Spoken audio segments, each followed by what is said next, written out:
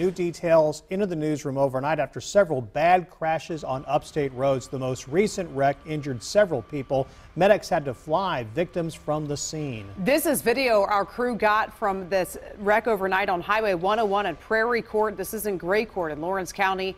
We've learned four people were taken to Greenville Memorial, including two who had to be airlifted. We're waiting for the Highway Patrol to release more information about how this crash happened. Also overnight, the Highway Patrol announced charges after a deadly wreck. This happened yesterday near the intersection of Highway 8 and Hunt Road in Anderson County. Air 7 flew over that scene. Troopers say Dallas Aiken swerved, tried to avoid hitting a stopped car. He crossed over the center lane and hit another car head on. He's been charged with driving too fast for conditions. According to our coverage partners at the Independent Mail, Harrison Kaysen was killed in that wreck.